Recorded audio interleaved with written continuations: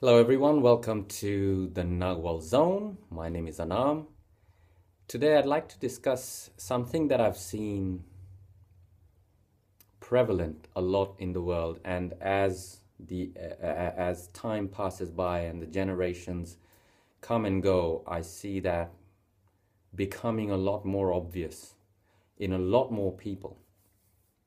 And but I want to start with a with a quote from John or uh, uh, uh, the the man commonly um, known as Don Juan Matus.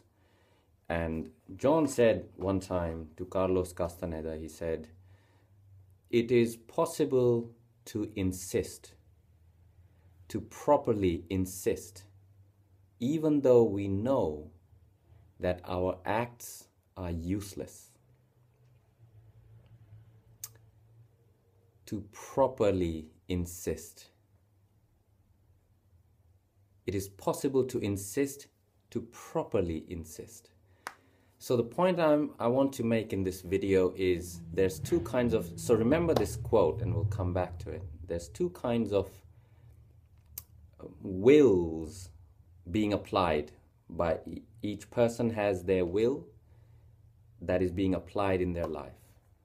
And it boils down to two paradigms, two paradigms, two ideas, or two directions that the will is targeted towards. One is what is the minimum, the bare minimum I can get away with?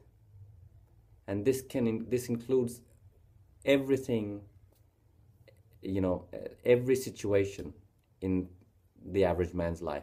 What is the bare minimum I can get away with? There are very, very, very few people who, in some parts of their life, apply their will to the opposite paradigm, which is what is the most and the best I can do. And even more than that, what is the best I can do, and even more. So, for example, you can have a business person, um, I don't know, someone who has a successful business who will apply this paradigm to their career, their work. But in the other parts of their life, they're applying the least I can get away with uh, paradigm, okay? So we all have a combination of the two. Most people, the average man, 90, 90% of the pie is applied to what's the bare minimum I can do and a few of those average men are uh, are fortunate enough or uh, have the correct viewpoint about their business or their relationship or their children or money or or fancy car or a good stereo system or my guitar or my singing or whatever things of the world um, that people the concerns and the demands and subscriptions of this world that people affiliate themselves with, that we all do. And then we, uh, 9 10% of that pie chart, we apply what's the best I can do in this situation and more, right? Um, the warrior, on the other hand, has made a lifetime's commitment to completely do away with the paradigm of what's the least I can get away with. And only chooses in the interests of impeccability, chooses only to work at any given moment in his or her life with the paradigm what's the best I can do and more not go the extra one mile, go the extra 10. And so the warrior, um, it takes a lifetime of honing our discipline, our sense of unbending intent, our sense of uh, our own impending death that uh, creates a queer kind of urgency to our actions, a finality to our decisions that then feeds into this paradigm. What's what's the best I can do here and more?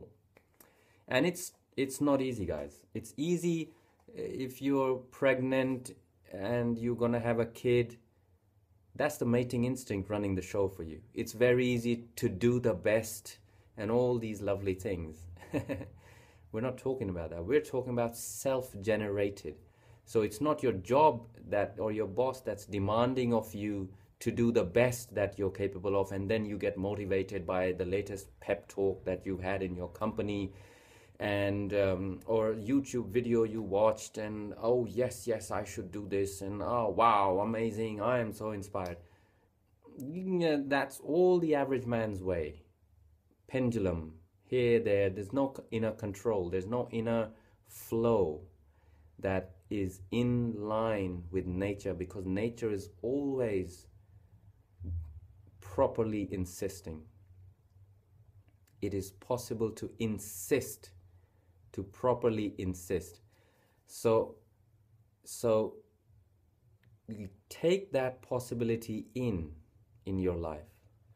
Aim to become the kind of person that knows that it is possible to properly insist that each thing each thought, each project, each issue, everything that the warrior finds themselves in the midst of is carried out, at least on their part, regardless and independent of anything else.